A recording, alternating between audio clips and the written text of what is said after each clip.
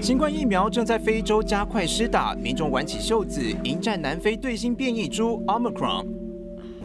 不过，当地民众，尤其是乡村地区，对新冠病毒认识不多。什么是 Omicron，可能连听都没听过，导致非洲完整接种率只有百分之七点五。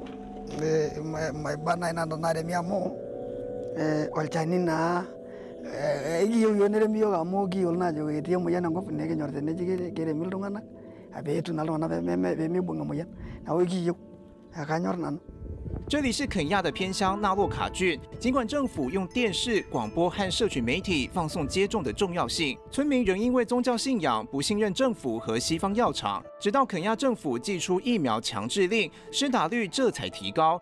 We used to do an average sixty to seventy thousand vaccinations. Now we are doing more than 100,000. In fact, yesterday we did a record 111,000 vaccination on a single day. 肯亚寄出强制令，催出打气。过去两周也陆陆续续收到近五百万剂疫苗，凸显穷国不及格的冷链技术。肯亚的超级冷链只能储存三百万剂 BNT，无法应付大量输入的疫苗。中非国家喀麦隆只有一辆适合运送疫苗的货车，而非洲最大最穷的国家马利只有两辆冷冻货柜车。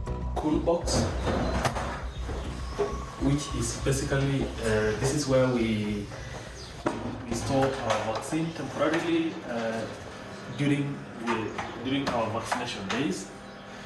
So instead of 即使疫苗到手，如何推动施打，如何管理疫苗，都是一大学问。例如，奈及利亚今年十一月有超过一百万剂疫苗放到过期报废，苏丹和刚果则因为无法及时分配，只好送回疫苗。加上各国普遍缺资金、缺医疗人员，接种站所需的棉球和口罩也缺很大。如何协助非洲攻克难关，才能避免疫情反扑？大新闻综合编译。